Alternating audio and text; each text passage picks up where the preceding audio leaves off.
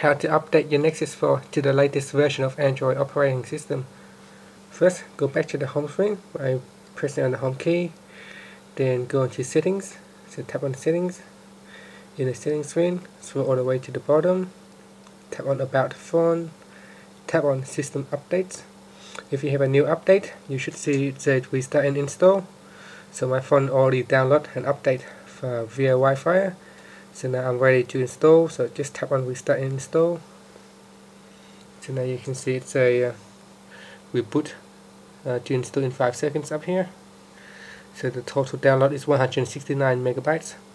So it might take a bit of uh, download. If you haven't downloaded the files already then it might take a while to download the files. Once you have successfully downloaded your phone should uh, will then be ready to update. So you can see my phone is restarting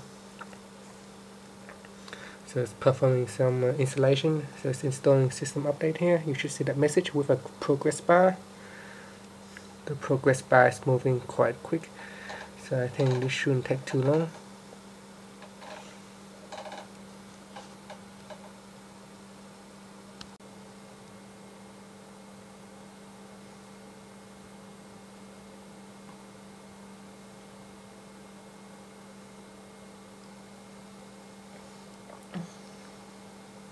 Okay, once your phone has finished with the update, we will reboot again.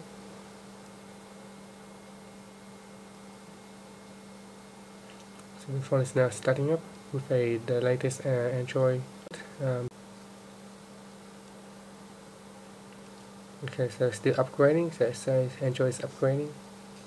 So we just wait for it to finish the upgrade.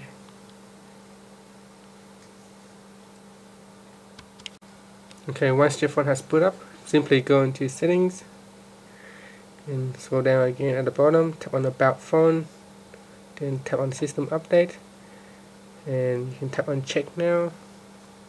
If you look on the Android version uh, you should see it has the latest version. Uh, I beg my pardon before but the latest Android version that I'm running now is actually 4.3 so now from here you can tell uh, uh that you have to uh, successfully install the latest uh, version of Android Thank you for watching this video. Please subscribe to my channel for more video tutorials.